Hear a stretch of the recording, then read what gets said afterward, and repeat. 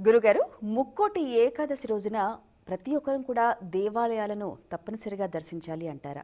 సహజంగా పర్వదినం వచ్చింది అని అనేసరికి విపరీతంగా జనం అందరూ చేస్తారు. ఈరోజు దైవాన్ని దర్శనం చేసుకుంటే మనం చేసిన పాపాలు అన్నీ పోతాయి ఏదో ఏదో ఏదో ఏదో ఆలోచన. ఒక్కటే ఒక మాట. ఆలయం ప్రశాంతంగా ఉన్నప్పుడు దైవాన్ని దర్శించితే ఉండేటటువంటి అనుభూతి ఆలోచన సంతోషం మళ్ళీ దర్శించాలనేటటువంటి ఉత్సాహం జనం విపరీతంగా ఉన్నప్పుడు మాత్రం కాదు.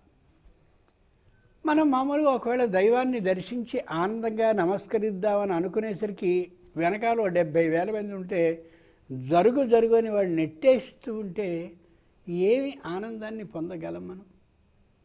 అంచేత నిరామయంగా ఏ విధమైనటువంటి జనము లేకుండా ఉండేటటువంటి తెల్లవారుజామున కానీ లేదా పర్వదినం కానటువంటి రోజున పర్వదినంగా భావించుకున్న హృదయంతో కానీ మనం దైవాన్ని దర్శిస్తే హాయిగా భగవంతుడు మన దగ్గరకు వచ్చి తనని చూపించుకుని వెళ్ళేటటువంటి ఆనందాన్ని అనుభూతిని మనం పొందగలుగుతాం.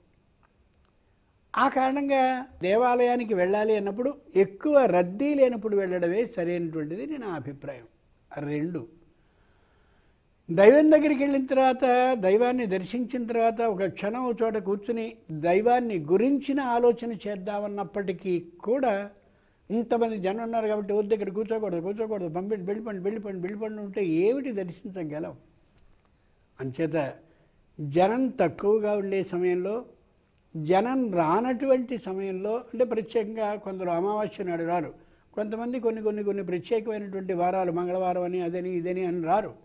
భగవంతుడిగా నియమాలు వెళ్ళలేవు అటువంటి ఏ విధమైన రద్దీ లేనటువంటి సమయాల్లో కానీ దైవాన్ని దర్శిస్తే స్పష్టంగా ఆనందంగా ఉంటుంది. అబ్బో పర్వదిన దర్శించలేదే అనుకోవద్దు. ఇంట్లో నువ్వు దర్శించుకో బుద్ధిలో. ఇదే శరీరం దేవాలయం. అంచేది ఇక్కడ బుద్ధిలో దర్శించుకోవచ్చు. చాలు దైవాలయానికి వెళ్ళినట్టే. దేవాలయానికి వెళ్ళి ప్రయోజనాన్ని పొందలేకుండా తిరిగి రావడం కంటే ఈ బుద్ధినే ఈ శరీరంలో ఉన్న దేవాలయంగా భావించుకుని ఇక్కడ దైవాన్ని కానీ దర్శించగలిగితే దేవాలయానికి వెళ్ళి చూడలేకుండా తిరిగి వచ్చిన దానికంటే చూసి కూడా తృప్తి లేకుండా తిరిగి వచ్చిన దానికంటే ఇక్కడ దర్శిస్తే నిజమైనటువంటి దర్శన ఫలితం లభించి తీరు